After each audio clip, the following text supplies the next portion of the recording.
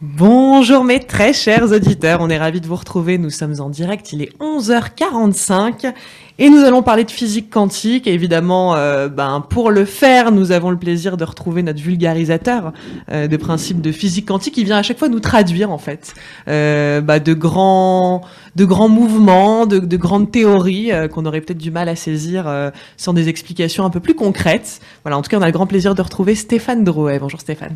Bonjour Nathalie, bonjour à tout le monde. Comment vas-tu? Euh, écoute, ça va plutôt pas mal. Euh, il fait beau, j'aime bien quand il fait beau le matin. hein. Je rêve un jour, mais je sais que je vais, je vais y arriver dans quelques temps, hein, de me dire de, de me réveiller tous les matins avec du soleil, peut-être dans un pays chaud. Voilà, ça fait partie de mes rêves. Alors comme j'y rêve tous les jours, je sais qu'à un moment ça va se Ça faire. va se faire. ne le rêve pas trop fort parce que ça, la vie risque de- de Exactement. t'y mener. Euh, en tout cas, je, pour rebondir là-dessus, j'ai eu un, un coup de fil. J'ai voilà, je pense qu'on a quelques guides qui sont évidemment euh, au-dessus de nous et qui nous suivent, et puis d'autres qui sont incarnés. Mhm. Et il y a une de mes de mes très chers guides qui m'a laissé un message hier en me disant nous sommes dans une période de lune ascendante. euh, il est temps de demander à la vie euh, tout ce qui tout ce que tu souhaiterais, voilà, sans condition.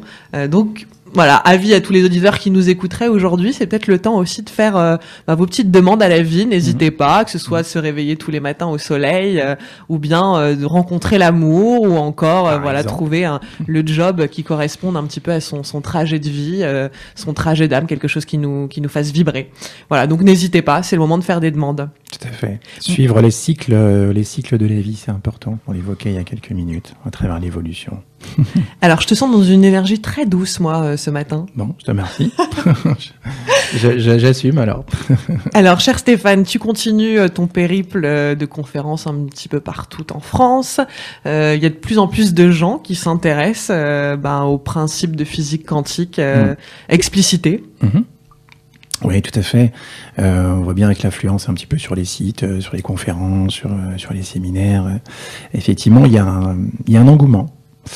Euh, il y a un, engou- un engouement, je pense aussi, euh, du fait euh, que ça fait rêver au sens où les gens se disent mais peut-être que je peux créer ma vie par d'autres biais que juste agir et avoir. Mhm.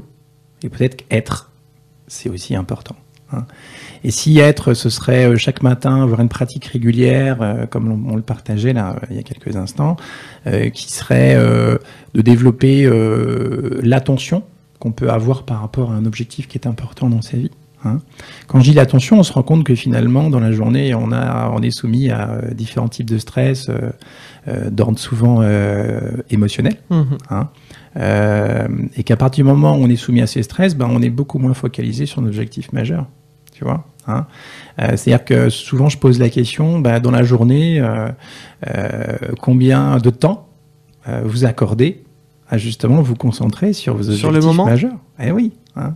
Et combien de temps on passe à penser euh, à la cuisine qu'on doit préparer le soir, euh, compte en banque qu'on doit, euh, comment je dirais, alimenter, euh, à l'ami qui vient manger le, le soir, week-end, qu'est-ce qu'on va faire, on va partir, voilà, etc. Toutes ces questions-là. Oui, l'idée aussi, c'est qu'on on ne s'en rend même pas compte. Tout ça reste dans une sphère inconsciente. Tant qu'on n'a pas des outils ou des moyens de se replacer dans l'instant, euh, bah, c'est un pilote automatique dont on a déjà beaucoup parlé. Mais c'est vrai que l'importance, vraiment l'importance de prendre un temps pour respirer, ne serait-ce que respirer. On, on va peut-être pas aller jusqu'à méditer, mais, mais déjà ne serait-ce que prendre ce temps pour, euh, pour être à l'écoute de sa respiration, ça nous place dans l'instant et on n'est plus dans le flux des pensées continues. Et puis la ça. méditation derrière nous permet aussi de prendre conscience de nos pensées Tout à fait. sans s'y attacher.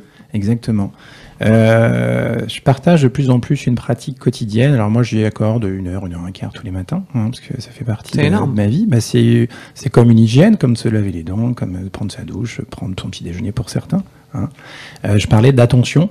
L'attention, pour moi, ça va passer par la focalisation. hein. La focalisation, c'est euh, être capable de se focaliser ou de se concentrer sur plusieurs points au niveau du corps. hein. Il y en a qui connaissent peut-être un peu euh, la pratique de soins énergétiques de Frank Kinslow qui s'appelle le Quantum Entrainment. Alors, c'est pas un hasard s'il s'appelle Entrainment. hein. J'évoquerai peut-être un peu après. Euh, mais l'idée, c'est qu'à partir du moment où on se focalise sur deux points, minimum, hein, moi je le fais sur 3, sur 4, sur 5, hein, au niveau du corps, je dirais après ce que c'est, hein, si ça intéresse les, gens, je pense, euh, eh bien, euh, le mental se déconnecte et c'est là qu'on commence à se brancher au flux. Quand je dis le flux, c'est le champ. Hein, le flux du champ. Ça me plaît bien, ça. Donc Hein. le chant, c'est quoi? Bah, le champ, en fait, c'est euh, une entité qui euh, nous entoure et dont on fait partie. Mhm. On pourrait dire ça comme ça. Hein, où sont stockées toutes nos pensées, nos émotions, nos expériences, euh, voilà. Et où toutes ces particules sont en mouvement en permanence, se rencontrent, se recherchent, font l'amour, mémorisent leur, le fruit de leur expérience et tout ça. C'est intéressant, le fruit de leur rencontre. hein. Donc, c'est, euh, je dirais... Notre chant, c'est quoi? C'est notre connexion divine? Oui, ce serait ça un peu, tout à fait. Euh, alors, euh, certains euh, l'appellent sous différentes formes, d'autres c'est l'intelligence euh, divine, euh, l'intelligence universelle, d'autres c'est Dieu, d'autres c'est l'univers, d'autres c'est la vie. Moi, je parle souvent de la vie, parce que ça me parle. Ouais. hein. Euh, donc, il y a cette- ce, ce premier niveau, qui est la focalisation, qui est très important. À partir du moment où tu focalises, par exemple, sur trois points, notamment euh, le cerveau, tu sais qu'on a trois cerveaux. hein. Oui. Le cerveau, là où il est plus connu, ça évidemment, Mhm. cerveau Le du ventre cœur. et le cœur. et le ventre. hein. Eh bien, euh, tous les matins, moi, je me focalise sur les trois points. Donc c'est-à-dire, tu te focalises, tu le ressens, tu le, non, je focalise tu le visualises, tu, Non, je visualise. Je visualise euh, comme si en fait. tu euh, visualises trois, points. trois points. Un au niveau du. Voilà, c'est ça.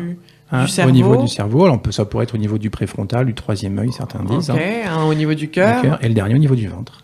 Voilà, et je reste focalisé. Et petit à petit, vous allez voir votre intuition, votre intuition se développe. C'est assez étonnant. hein. Tous les gens qui le pratiquent depuis un petit moment me disent je la même connaissais pas chose. du tout cet exercice. Eh oui. hein. Euh, ce qui est important, c'est de répéter. Eh ouais. Ce qui est important, c'est de répéter. C'est Ouais. ça qui fait la différence. hein. Je dis souvent, vous avez appris à marcher, à écrire, à parler, et vous avez répété, répété, répété, répété, répété, répété. et Après, ça devient un programme automatique. Bien hein. sûr. Euh, mais ça veut dire que si on a une pratique régulière tous les jours, telle que celle-ci, alors euh, elle, est, elle est com- elle est complétée par autre chose, mais euh, ça fait partie un petit peu du montage. Eh bien, on se rend compte que finalement, on inscrit un programme automatique qui d'être relié au flux quasiment en permanence. C'est pas extraordinaire, ça? C'est extraordinaire. Hein. Et, donc euh, pas forcément dans des périodes où on a besoin de répondre à des questions, peut-être juste Non. simplement dans Ouais. le ça. dans l'ouverture à cette journée euh, Voilà. de, de prendre ce temps. Voilà. Comme le fait de se rencontrer ce matin, de prendre du plaisir à le faire, d'avoir des idées folles, de monter aux arbres, des trucs comme ça, c'est des trucs sympas, quoi. Euh, donc ça, c'est effectivement être connecté au flux. Euh, L'idée, c'est de se dire, mais finalement, au fil de l'eau, plus on est connecté au flux, plus on est face à des opportunités et des ressources. Parce qu'en fait, tout existe dans le champ, c'est ça extraordinaire. hein. Tout en potentiel existe. hein. Euh, ça, c'est un des grands principes de la physique quantique, parce que tout est fait de probabilité dans ce champ, donc tout en potentiel existe. Donc ça veut dire que certains potentiels, on peut quelque part les rapatrier, je dirais, dans notre vie, voilà, peut-être dans, dans la seconde. Là. On voit au fil de l'eau, au, fil de l'eau de l'évolution de la conscience, parce que c'était un des, sujets que je voulais aborder aujourd'hui, que petit à petit, plus on est connecté au flux, plus on a accès à des euh, ressources, à des réponses, hein, à des potentiels, à des talents euh, insoupçonnés euh, peut-être la veille, cinq minutes avant, face à de plus en plus d'opportunités. Euh, C'est-à-dire qu'en fait, entre nos intentions qu'on émet de plus en plus souvent, Mhm. donc la focalisation, hein, On a le contexte qui se crée derrière pour nous permettre de l'exprimer. Exactement. C'est-à-dire qu'en fait, si on développe à la fois l'attention via la focalisation, l'intention via la visualisation, Mhm. La cohérence, la cohérence, c'est la cohérence du cœur. hein. Alors, euh, il y en a qui pratiquent différemment. euh, c'est connu, c'est de respirer dans le cœur. euh, on inspire, on expire. Moi, je le fais en fractionné, mais bon, on peut le faire sous, différentes formes, peu importe. Euh, si on développe ces trois aspects, eh bien, on est branché. C'est comme si on était branché à une prise de courant en permanence. Alors, ça fait plus de bien que, que ce qu'on pourrait croire. C'est pas un coup de jus. hein. Enfin, pour certains, ça peut l'être. hein. Oui. Hein. Mais c'est Euh, plutôt pas mal parfois les bah coups de jus. Bien sûr. Et donc on voit bien avec l'accélération, euh, on appelle ça l'ac- l'accélération du temps, mais c'est pas la véritable accélération du temps. En fait, c'est plutôt euh, le nombre d'opportunités mêlé au nombre d'intentions qu'on émet, si on fait ça tous les matins par exemple, Mhm. hein, qui petit à petit se démultiplient. Donc on appelle ça des co-incidences, des synchronicités. Voilà. Euh, et on voit qu'il y a, on appelle ça l'accélération du temps, nous. Mais en fait, c'est parce qu'on a accès à beaucoup plus d'informations qu'avant. Donc, c'est comme si en fait euh, le mental, tu sais que le mental, lui, il sait pas gérer tout ce type d'informations. Il en a trop. Il sature au bout d'un moment. Il gère à peu près allez, euh, 24 images secondes, 20 24 euh, informations à la seconde, donc il est saturé. Donc le propre de l'évolution consciente demain de chaque être humain, qui va permettre à l'humanité d'évoluer, c'est de développer un autre potentiel. Tu vois arriver avec mes gros sabots. Bah ouais, celui du cœur. Eh ben oui, voilà. C'est celui-ci qui nous permet d'être justement en lien avec le flux en permanence par une pratique quotidienne. Et j'arrête pas de dire aux gens, répéter, c'est intégrer. Répéter, répéter, répéter. Et c'est finalement se créer une vraie réflexion de cœur. Voilà. Prendre profondément des décisions avec son cœur. C'est ça, tout à fait. Et donc ce branchement, bah, tout à coup, euh, il est euh, en flux permanent. hein.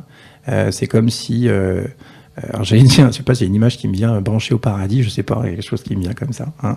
Qu'est-ce qui Euh, fait qu'on se déconnecte?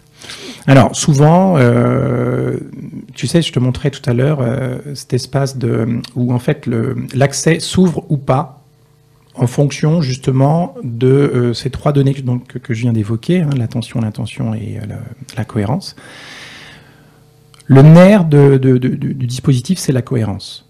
Parce qu'une fois que le cœur est ouvert, le système se met au diapason, c'est-à-dire ton, ton cerveau, ton mental, euh, et euh, ton cerveau digestif va se mettre au diapason de cette cohérence. hein. Je l'ai déjà évoqué de- lors d'autres euh, émissions qu'on a fait ensemble. Euh, si le cœur se met en décohérence, c'est comme une, tu vois, là, on est branché à des micros, c'est comme si on coupait le micro. Tu vois, on n'est plus branché ou de moins en moins Mhm, branché au champ. mhm. C'est-à-dire que dès qu'on va avoir des émotions instables, style colère, euh, rancune, euh, frustration, etc., on les connaît tous, hein, tristesse, eh bien l'accès au champ, en fait, se réduit. Plus on va passer en mode cohérence. Alors, le cohérence, j'espère que c'est clair pour tout le monde, c'est... euh, Non mais j'allais te demander de l'expliciter. Une forme de cohérence fais- cardiaque. oui, c'est ça. Mais ça va correspondre à une phrase très simple, c'est euh, euh, je fais ce que, ce que j'aime, je fais ce que je suis, je fais ce que je dis. Toutes ces choses-là. Donc en fait, si on est cohérent dans sa vie d'un point de vue concret, est-ce que le cœur se place assez naturellement Oui. dans un battement qui correspond à, à, bah, à la cohérence cardiaque, comme on la connaît? Et là, il y a un sujet qui est intéressant, euh, qui est la notion de euh, est-ce que c'est la même chose quand on parle d'évolution aléatoire ou d'évolution chaotique hein? Eh bien, je vais prendre une image pour montrer qu'en fait, entre l'aléatoire, le chaos et l'ordre, c'est pas la même chose. On pourrait, on, amalgame souvent le chaos euh, et l'aléatoire en même temps. On sait que dans, euh, dans le champ, euh, ce sont des probabilités. Donc on pourrait dire c'est c'est le hasard en fait qui, qui s'exprime. Mais il y a des petites nuances.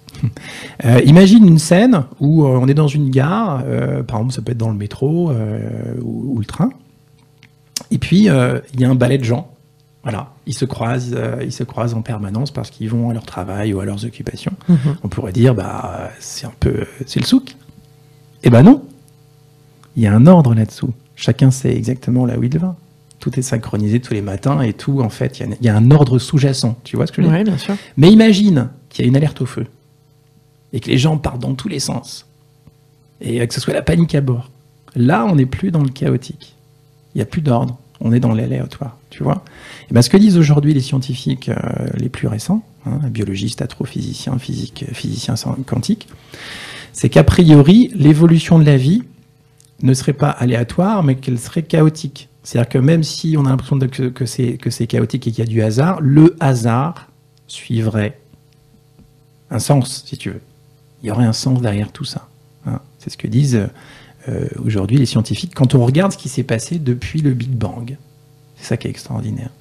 Alors j'insiste sur ce point parce que de plus en plus, moi, En fait, oui, ça me laisse entendre juste dans ton exemple plus concret que, donc en fait, même si on ne sait pas vraiment où l'on va, la vie le sait pour nous. c'est ça. D'où cette forme de chaos. Ouais. D'où Ouais. ce- ce- cette alerte à la bombe qui fait que tout le monde part dans des chemins qu'ils ignorent euh, atteindre, Mm. mais finalement, On va revenir à, Ouais. à de l'ordre après, hein, on est d'accord. hein. tout ça aura une, une forme de sens. C'est ça, tout à fait.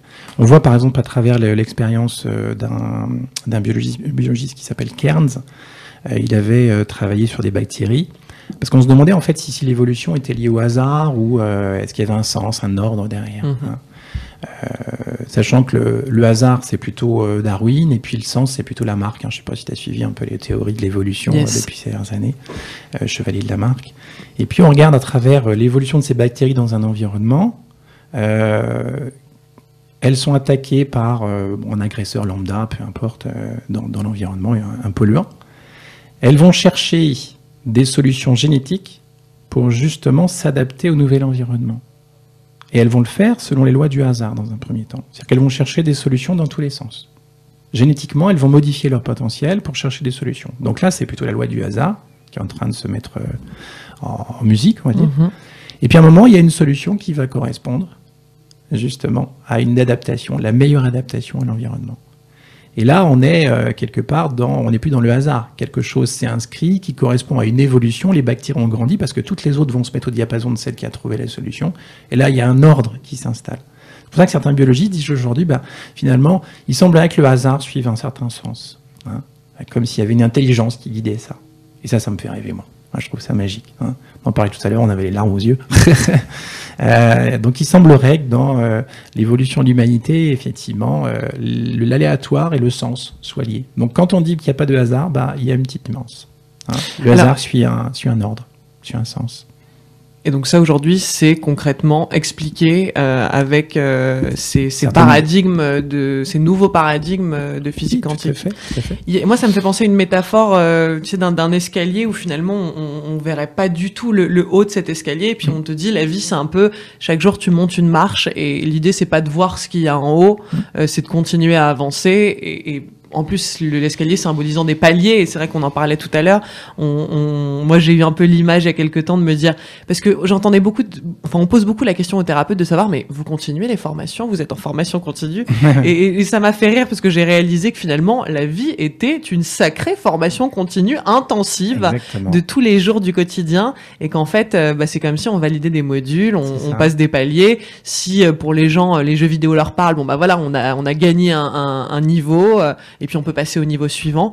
Donc c'est finalement, euh, c'est finalement ne pas forcément savoir ce qui nous attend derrière, mais c'est juste se laisser guider par toute cette intelligence euh, euh, qui, bah, comme tu nous l'explicitais, euh, n'est pas le fruit du hasard et Ouais, euh, où derrière il y a une forme Ouais. d'orchestration hyper intelligente. Tout à fait.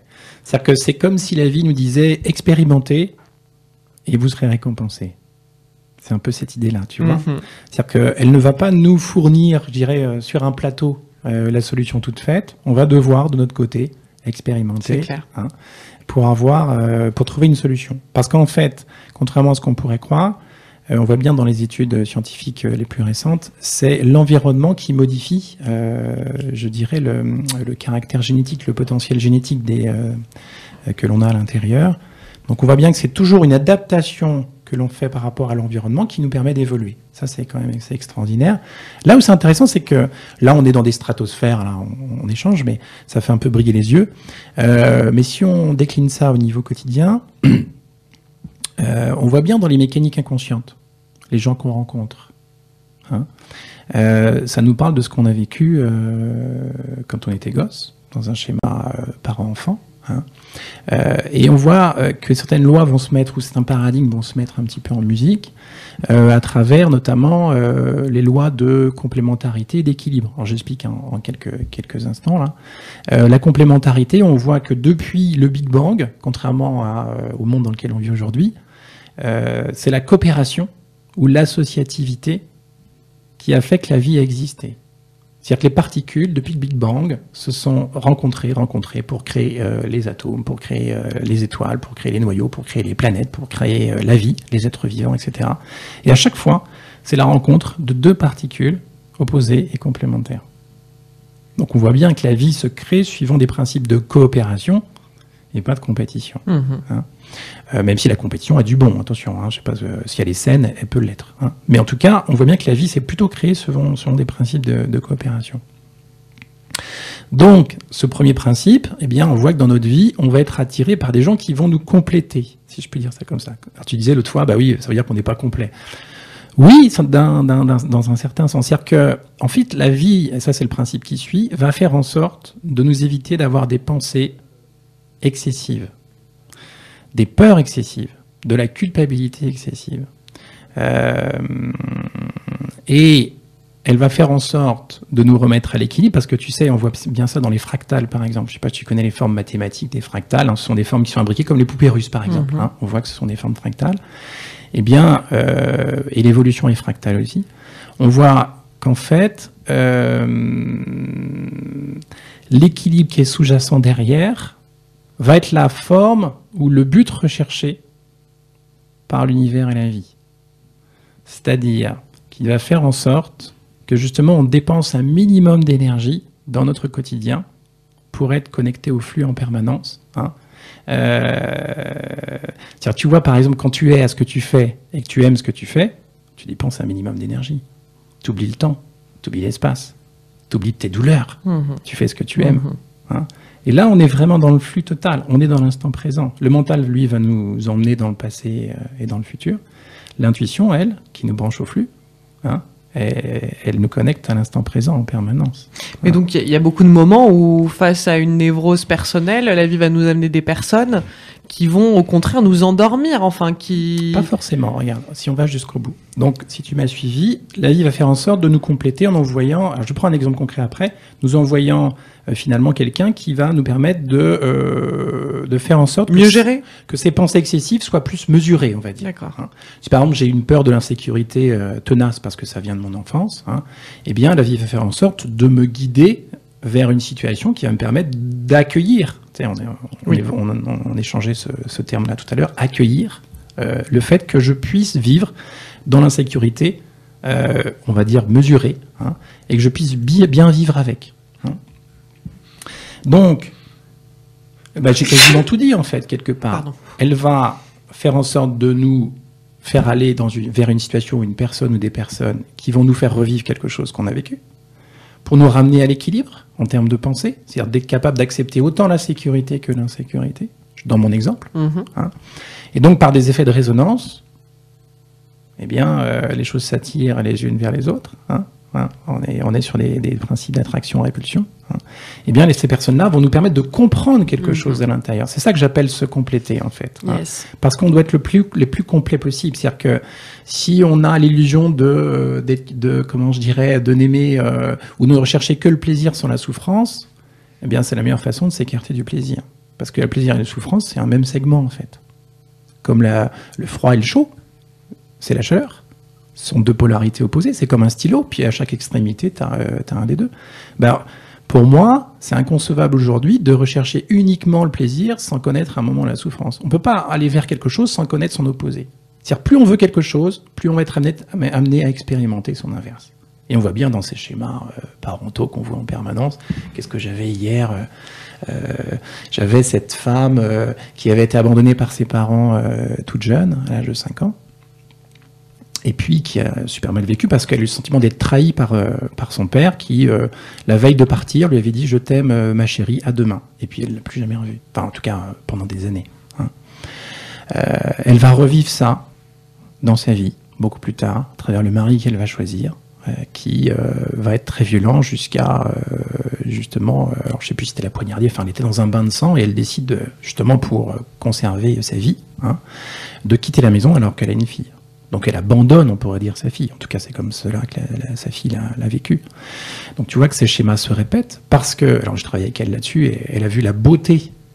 C'est ça qui est extraordinaire. comme Du message la beauté de ce qu'elle avait vécu euh, dans cet instant où son papa lui disait Je t'aime, ma chérie, à demain. D'accord?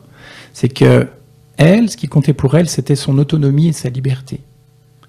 Et quand elle a compris qu'en fait, à travers cet acte, ce papa lui avait permis elle-même de choisir sa vie, quelque part derrière, alors ça, peut paraître un peu extrême ce que je dis, hein, mais en tout cas, elle, en entendant ça, quelque chose s'est ouvert en elle, et elle a accueilli dans son cœur ce qui s'était passé. Elle était en larmes, c'était un moment extraordinaire. Moi, je vis ça tous les jours. Et en fait, je disais aux gens, euh, vous me payez pour que je prenne du bon temps parce que c'est extraordinaire pour moi de vivre ce moment-là face, face à quelqu'un. Alors comment est-ce que tu sais que son message d'âme, c'est de contacter l'autonomie et la liberté? Parce que c'est elle qui me l'a dit, en fait. Ok. Je lui Que dis, mais- c'était une grande valeur Voilà, pour elle. ça. Elle m'a dit, bah, ça pour moi c'est important. Mais j'ai regardé en fait ce, ce que vous avez vécu à travers ça. Et là, elle a, elle a commencé à regarder. Tu veux dire qu'un parent en faisant ça laisse entendre à son enfant que euh, bah, il choisit pour lui ce qui est le meilleur et que Ce qui est important, c'est comment on regarde l'événement après. Parce qu'on ne connaîtra jamais l'intention du parent. non mais ça peu importe c'est le message après que nous on avait en Exactement. Tout à fait. C'est comment nous on va l'intégrer, c'est le regard qu'on va porter dessus. Alors, je dis souvent aux gens, euh, la perception que vous avez d'un événement aujourd'hui, ça crée quoi? Ah bah ça crée de la souffrance, ça crée de la tristesse, ça crée de la colère. Hein. Euh, Est-ce que c'est ce que vous avez envie de garder avec vous aujourd'hui? Bah non, j'ai envie d'autre chose. J'ai envie euh, de, de vivre un moment d'enthousiasme, de paix, de calme, d'amour, etc. Et donc ça veut dire que la perception n'est pas la bonne. En fait, ce qui est extraordinaire, et je pense que ça c'est le monde de demain, c'est Mhm. l'intelligence du cœur, quand on va être capable, non pas de regarder avec un œil notre réalité, mais avec les deux yeux, ça c'est l'intelligence du cœur, d'être capable de voir qu'en fait, face à tout événement, une chose et son contraire sont vrais. C'est-à-dire qu'elle, elle avait eu le sentiment euh, d'être trahie, qu'il lui avait menti, et qu'il ne l'aimait pas, et qu'elle a vu tout à coup, parce que son inconscient s'est ouvert, qu'elle était capable de voir cet événement quand un événement qui lui a permis de se développer Mhm. et d'être la femme qu'elle est aujourd'hui et qu'elle aime, hein, euh, de pouvoir suivre ses études, faire ses choix d'études, etc. Eh bien, tout à coup, quelque chose s'est ouvert en elle. Et pour moi, demain, c'est ça le renouveau, je dirais, du monde. hein. C'est-à-dire qu'aujourd'hui, on voit le monde avec un œil. C'est-à-dire qu'il y a toute une réalité qu'on ne connaît pas. Tu m'entends bien Il y a toute une réalité qu'on ne connaît pas aujourd'hui. Euh, on est tous là-dedans. hein. Euh, moi, je m'y mets aussi. hein. On est d'accord? Euh, Qui nous tend les bras. À partir du moment où on va s'ouvrir justement en ouvrant l'autre œil, c'est comme si on changeait de paire de lunettes. Ça, c'est le monde de demain. Et là où c'est extraordinaire, c'est que là, on l'a fait en deux heures hier. Mais moi, je fais ça depuis plusieurs années. Maintenant, en, allez, en 10-15 secondes, il suffit d'inverser, en fait, le regard qu'on portait. hein. parce que ton système nerveux, il s'est tellement habitué à le faire, qu'au lieu de le faire en deux heures, au bout d'un moment, tu peux le faire en quelques secondes. Tu prends ta croyance, ta perception, tu l'inverses et hop, aussitôt, tu passes dans un autre monde. C'est vendeur. hein. C'est-à-dire, genre, mon père ne m'a abandonné, mais finalement, euh, il me donnait ma liberté d'exister Et donc, c'est une euh, façon de comme je m'aimer. suis. C'est une façon de m'aimer. C'est le plus grand cadeau qu'il pouvait lui faire. Et quand elle a Et ça, de le transiter, parce qu'on a l'impression qu'on le transite intellectuellement, mais Non, en fait, ce qui se passe, c'est que, alors autant l'inconscient peut résister parce que ça a assuré sa stabilité, tu vois ce que je veux dire? Ça, ça a assuré sa cohérence. Ouais. L'inconscient, lui, il a besoin de rester cohérent. et puis c'était basé là-dessus depuis toujours. Exactement. Donc c'est une idée, en fait, qu'est-ce qui fait qu'on reste dans une émotion? C'est qu'on croit à notre pensée. Et tant qu'on croit à notre pensée, on reste dans l'émotion. Hein, C'est ça en fait hein, le grand principe. Et à partir du moment où on va se rendre compte que c'est parce qu'on croit à notre perception qu'on reste dans cette émotion inconfortable, Mhm, on se dit mhm. bah donc c'est pas la bonne perception. Ouais. Donc euh, je vais voir pour justement Tu me mens, penser. une perception inversée. Et c'est souvent une perception. Alors parfois ça demande. Souvent ces personnes qui sont restées dans ce, ce genre de regard parce que là elle a 60 presque 70 ans. Ah, mais c'est extraordinaire. Donc elle regardait ça avec ce regard depuis 70 ans. T'imagines? Waouh. 65 ans. Enfin, pas que, mais qu'elle, qu'elle, qu'elle- voilà, qu'à 70 ans, elle décide de s'en, Ah, de changer. Mais te- je te promets qu'hier, lorsque euh, je l'avais, bon, je vis ça tous, tous les jours, mais hier, je pense à cette personne parce que ça m'a touché. Surtout quand c'est des, des- des personnes, moi ça me touche, hein, des personnes qui euh, ont vécu avec ce regard pendant tant d'années et puis qui sont restées plus de 60 ans avec ce regard. Puis tout à coup, t'imagines un petit peu le, le choc, La mais dans le bon sens, la libération que ça peut représenter. Tout à coup, tu te rends compte que c'était sous tes yeux, que tu pouvais voir les choses différemment. Non, mais, que t'avais pas le décodeur. Mais, mais que tu n'avais pas le décodeur. Et là, elle l'a vécu une fois, maintenant elle est capable de le faire toute seule. C'est ça que je lui ai dit. Parce que moi, ce qui m'intéresse, c'est que les gens soient autonomes. S'ils viennent pas me voir euh, 20 fois, ça m'intéresse pas. C'est parce que sinon, j'ai l'impression de pas faire mon boulot. hein. Voilà. Je lui ai dit, mais voilà, vous avez vu un peu par quoi on est passé. Hein. Euh, et bien maintenant, euh, parce que là, je vous le fais en rapide, hein, parce que ça demande quand même quelques petites questions préalables. euh, mais après, on peut le faire très rapidement. Le système nerveux, c'est comme euh, tout, tout acte d'apprentissage. Le système nerveux s'habitue tellement à le faire qu'au bout d'un moment, bah, on est capable de le faire en, allez, au lieu de le faire en une minute, on, on le fait en 10 secondes. ou- Et est-ce que après, naturellement, on peut se positionner aussi de manière positive vis-à-vis des choses ou est-ce qu'on a quand même toujours Oui. parfois à ré- réajuster? Alors, suivant, tu sais, euh, alors ça c'est un peu une illusion. euh, je pense que les thérapeutes devraient un peu éduquer aussi leurs patients, hein, à mon sens. hein, euh, je sais qu'il y en a beaucoup qui le font, hein, mais euh, bon, bref. Euh, c'est de voir que finalement, euh, je sais plus ce que je voulais dire. Extraordinaire. Et j'ai oublié ma question. Je sais plus. Bon, bah voilà. Je sais plus ce que je voulais dire. Si, euh, Oui, je te- je te disais- Oui, oui, non. euh, est-ce que, est-ce que, à un moment naturellement, ça me revient. Est-ce qu'à un moment naturellement, euh, on, on se place bien vis-à-vis des choses ou est-ce qu'on a toujours à réajuster? Est-ce qu'on a toujours à réajuster? Oui, parce que voilà, c'était ça l'illusion. C'est que plus on avance en fait en conscience, tu vois, c'est comme deux flèches inversées. Plus on avance en conscience, plus on est face au noyau de notre, euh, enfin, au cœur de notre noyau psychique. Je sais pas si tu vois ce que je veux dire.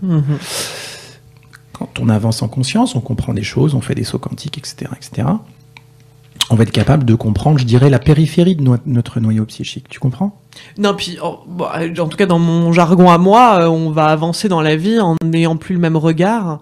Alors après, même s'il y a des situations Oui. qui vont, en fait, je pense que quand les situations viennent de l'extérieur, quand quand c'est nous qui rencontrons des choses, Mhm. voilà. Mais quand ça vient nous percuter, c'est peut-être un... quand on s'y attend vraiment pas, c'est Oui, peut-être un peu plus vrai. compliqué. Là, ça demande peut-être un réajustement de positionnement. Ce que je veux dire en fait par là, c'est que on pourrait, j'entends ça tellement souvent, les gens me disent ah bah de toute façon j'ai dépassé ça, donc maintenant euh, ça va être l'autoroute. Et bah pas forcément. Alors ça c'est la mauvaise nouvelle du jour, mais il y en a une bonne derrière. c'est que plus on avance justement dans la compréhension de qui on est et Ouais. ce qu'on a vécu, plus on va être face, donc en conscience je dirais, plus on va être face à, aux profondeurs de nos blessures. Mhm. Tu vois ce que je veux dire Hein Ah ouais. donc parfois, ça va être douloureux. Peut-être parfois de plus en plus douloureux. Par contre, comme on a évolué euh, les années qui précèdent, en, en conscience, en liberté, en autonomie, Bah, normalement, on on va le faire plus vite en fait. On Mhm. va, et, et- et ça veut dire que la libération va être encore plus forte. Ouais. Voilà. Donc ça, je pense que c'est important de le dire, euh, de partager ça euh, aux gens parce que j'entends ça tellement souvent du style ah ouais mais quand j'aurai passé ça, tout ira bien. Et ben pas forcément parce que la vie est une vague. hein. C'est une onde. hein. Non, mais c'est une onde. Et puis, euh, c'est marrant, je, je parlais de ça, euh, je parlais de ça avec une amie. euh, euh, oui, oui, en effet, parfois on se dit, ah bah c'est bon, ça y est, j'ai travaillé tant d'années sur mes schémas affectifs. C'est bon, là, je pense que j'ai réussi à déblayer, euh, à déblayer les choses. Et puis finalement, on se rend compte que bah non, il y a toujours des petites choses. Et puis, comme tu le soulignes, qui sont parfois bah, encore un peu plus profondes, euh, qui sont encore à libérer. Et moi, je pense. Parfois, on- les, les libérations énergétiques sont importantes, mais les libérations aussi par le corps sont hyper importantes. Oui. Et il faut savoir que le corps, il a une mémoire et qu'il garde beaucoup de choses comme ça euh, sclérosées Mm. et que faire des approches corporelles, c'est juste hyper important parce que ça permet, voilà, de libérer mais des choses qui sont dans notre mémoire cellulaire la plus profonde. Mm. Euh, et même si c'est important de travailler aussi sur son énergie, sur taux, sur son taux vibratoire, je pense que le travail par le corps aussi est extrêmement euh, Alors nécessaire. c'est essentiel. Parmi euh, les exercices que je préconise, euh, on a des euh, exercices qui permettent d'ouvrir le corps. Alors moi je fais pas mal de mouvements un peu, euh, ça c'est ma façon d'être, mais un peu spiralés sous forme de cercle en fait. C'est que tu marches bizarre. hein. Ouais ouais, c'est t'as vu, hein, je marche bizarre, je suis un peu bizarre comme garçon.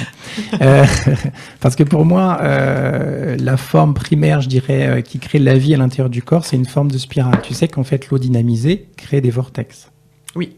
D'accord? Hein Euh, Et on trouve ces formes, en fait, dans énormément de, de niveaux, à la fois Mhm. dans l'infiniment petit. On sait que, par exemple, les deux spins de l'électron à deux sens de rotation, le fait d'avoir deux sens de rotation crée une spirale aussi. On sait que les champs magnétiques autour du Soleil et des galaxies aussi se tournent sous forme de spirale. Donc ça, c'est une forme que l'on retrouve, euh, que l'on retrouve à l'infini. Et donc, moi, le matin, je préconise plutôt des mouvements un peu spiralés au niveau du corps et surtout de, alors je vais être un peu lourd, hein, respirer dans le cœur en même temps pour faire un lien entre le corps et le cœur. Parce que l'idéal, ce serait de commencer le matin par une cohérence cardiaque, donc de synchroniser, je dirais, ou de, de- de se mettre en cohérence au niveau du cœur, Mhm. puis après de commencer à synchroniser toutes les zones. D'abord par la focalisation, par les trois points. Je vais synchroniser mon mental et mon ventre sur mon cœur. Et puis après, je peux m'occuper de mon corps aussi. Hein, synchroniser mon corps sur mon cœur, etc. etc. Donc c'est important de comprendre ça, hein, parce que euh, il y a une mécanique du 4 qui est intéressante. Alors ça, on peut faire des liens. Alors ça, on, on peut lier par exemple la physique quantique avec des traditions un peu spirituelles. Euh, euh, la Kabbale, ça te parle un peu? Ouais. hein. Euh, on voit que Dieu euh, est défini sous la forme du, euh, du 4. C'est-à-dire, on l'appelle le tétragrammaton. Je ne sais pas si ça te parle. Non. La grammaire du 4. Tétra 4, grammaire, Mhm. la grammaton, la 4. Euh, la grammaire, pardon. Euh, tétragrammaton, c'est donc la grammaire du 4. Et là où c'est intéressant, c'est qu'on voit qu'on a quatre entités autour de nous au niveau électromagnétique. Le corps, les émotions, le mental et le cœur. Et que quand toutes ces entités électromagnétiques, ces champs électromagnétiques sont en cohérence, c'est-à-dire qu'ils fonctionnent ensemble, la grammaire du 4, on accède au flux. C'est ça que je pratique tous les matins et que je partage de plus en plus avec les gens. Alors, en général, je fais rarement des liens avec les traditions spirituelles, mais là, je trouve ça intéressant. Bon, Hein y, a, y a des liens omniprésents Bah, il entre les traditions spirituelles et aujourd'hui euh, euh, les principes de physique quantique dont on parle, évidemment. Et d'ailleurs, ça paraît d'une logique implacable que ce soit le cas. Bon, ce que je te laisse peut-être juste conclure. C'est de la spiritualité moderne, on va dire. Voilà, exactement. Bon. Donc, euh, alors je conclurai sur euh, quelque chose qui me tient à cœur en ce moment, qui est posez-vous la question chaque matin de qu'est-ce que vous avez envie de mettre au service de la vie? L'amour Je ne sais pas, mais c'est une question à se poser chaque matin en se levant, euh, en visualisation. Qu'est-ce que je vais mettre au service de la vie aujourd'hui et euh, dans les jours qui viennent Euh, Parce que ça, je pense que c'est le plus haut niveau de conscience connu aujourd'hui. hein. On appelle ça aussi la conscience universelle et qui va bien au-delà de la conscience personnelle. Euh, voilà, bon, j'irai pas plus loin parce que là, c'est parti. Mais alors, c'est vrai que parfois, on ne sait même pas ce qu'on a spécialement envie de mettre au service de la vie. On peut se dire aussi, un matin, bah, je me mets moi au service de la vie, et puis la vie, bah, guide-moi vers, euh, Oui, vers les ça. aventures que tu m'as Mmh. réservées et pour Mmh. lesquelles tu as envie que je sois dans l'action et, euh, Mmh. et voilà, dans le mouvement.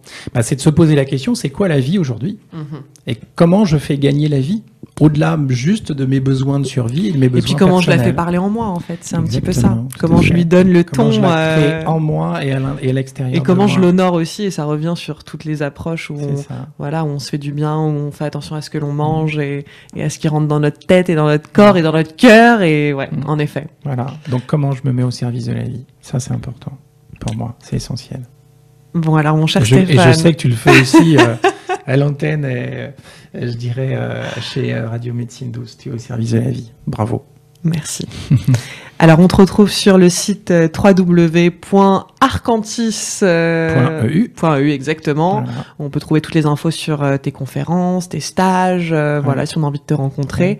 Moi, j'invite, j'invite les gens à, à te rencontrer et peut-être à vibrer avec toi, parce que c'est- évidemment, même si la, sur une radio, les ondes passent et à Oui, travers des voix, il y a beaucoup de choses qui passent, mais voilà, se retrouver dans une salle auprès de toi, c'est très agréable. Donc, euh, j'invite, euh, j'invite tout le monde à en faire l'expérience. D'accord. Je voulais juste passer une petite annonce rapide.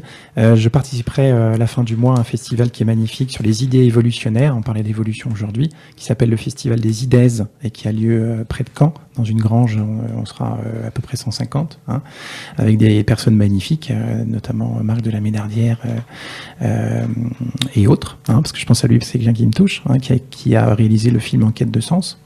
Euh, donc je vous invite vraiment à vous brancher là-dessus pour euh, tous les auditeurs qui sont un peu dans la région parce que euh, vous allez assister euh, à trois quatre jours euh, assez euh, extraordinaires. Voilà, c'est tout. C'était un message que je voulais faire passer. Est-ce qu'il y a un site internet sur lequel on peut obtenir des Alors, renseignements vous tapez IDES, donc c'est euh, e.days, d'accord? Et puis vous allez tomber sur le site euh, de Lydie euh, Les Tous et Marchands. Voilà, c'est un cadeau que je lui fais en même temps parce que c'est une chic fille. Super.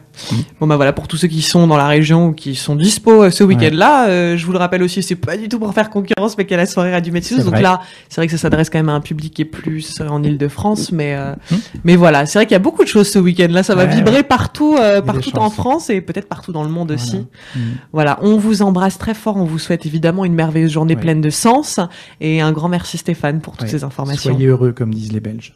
Et aimez-vous. À très vite. à bientôt.